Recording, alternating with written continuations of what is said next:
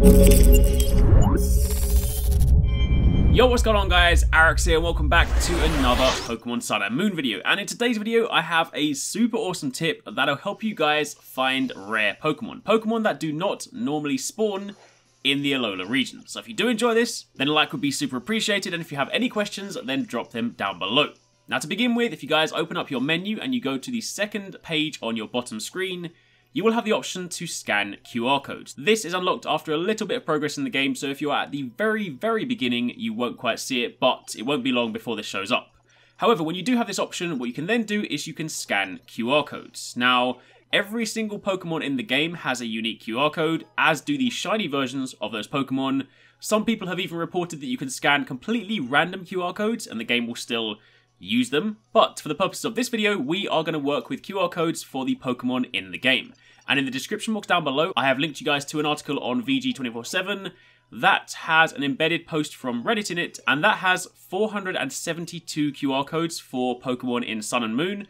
That is both the normal and the shiny versions. You can then go and scroll through those pictures and use them to scan the code. Now the reason you want to do this is because you can scan 10 QR codes a day, and every single time you scan one, you get 10 points. Once you have 100 points, you unlock the ability to use the island scan feature. Now, the island scan feature is a feature that will scan the island you are currently on, and it will locate a rare Pokemon that does not normally spawn in the Alola region.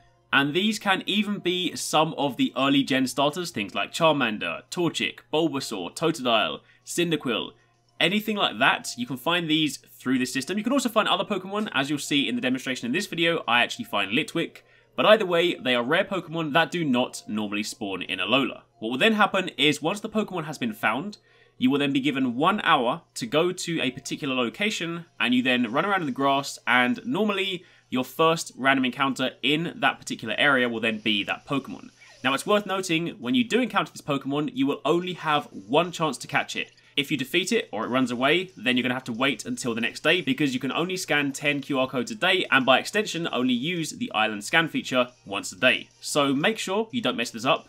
Also, do bear in mind, it scans the island you are currently on. So, for example, in this demonstration, I'm on Melemele Island. Now, I've actually made quite a bit of progress in game, and my team is around level 35.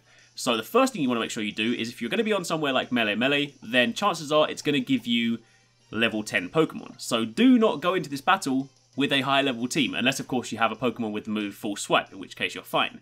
But for the purpose of this, I went to my box and grabbed a Pokemon that was level 9, Pikipek, standard Pokemon, something that I knew would definitely not kill it, and you then go on your search. It is also worth mentioning that you do not want to use this scan feature if you haven't made enough progress on the island, because if it tells you that the Pokemon is located in a portion of the island you have yet to unlock, and it will take you longer than an hour to get there, then again, if the timer expires, you have also wasted your opportunity. So what I would recommend is only do this on islands that you have complete access to, so that way there is no risk of you not being able to get it. But either way, it's as simple as that. Activate the QR feature, scan 10 QR codes, and as I said, you can find a link to an article down below that'll have 472 QR codes. I'm not too sure just yet whether you can reuse QR codes, but either way, even if you can't, that is 47 days worth of QR codes, so that is 47 Pokemon, and once you've scanned them all, you then simply select the island scan feature, scan it, it will then bring up a silhouette of the Pokemon it's found, and it will tell you in the text box where you need to go. So in my case, I was told to go to Hau'oli Cemetery. So I flew over there, you walk there, you go to the nearest area, you then walk into some grass, randomly encounter a Pokemon, and that first encounter should be your Pokemon. From that point on, it is pretty standard. Whittle its health down, use a Pokeball, catch it, and it's yours. Simple as that. So, that is it. That is your tip, guys. That is how you can find rare Pokemon that do not normally spawn in the Alola region using QR codes. Hopefully you found this helpful. Again, if you did, then a like would be super appreciated. Be sure to share this with your friends if you guys know anyone that are hunting Pokemon right now. And thank you for watching. Take it easy. Catch you next time. Peace out.